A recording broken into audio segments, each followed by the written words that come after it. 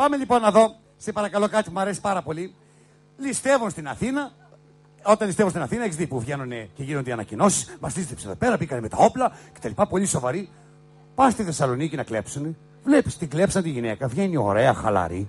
Άκου δήλωση που θα κάνει. Άκου, άκου, άκου. άκου.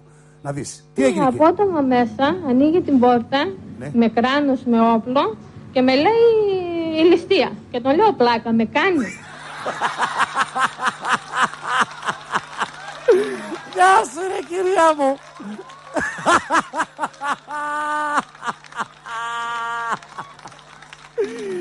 Κόντυψα να πεθάνω χθες που το βλέπα.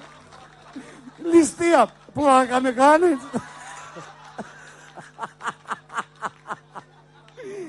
Κυρία μου να είσαι καλά. Μου έφτιαξες το κέφι.